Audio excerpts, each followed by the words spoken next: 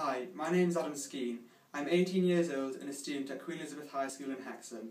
This is a message to the UN Committee on Enforced Disappearances about the Panchen Lama. The Panchen Lama is one of Tibet's highest spiritual leaders, and the 25th of April 2013 marked his 24th birthday, making it around 18 years since he was kidnapped by the Chinese government at just the age of six, making him one of the youngest political prisoners in the world.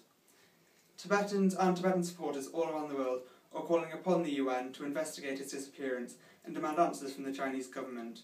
Please ensure his freedom. Thank you.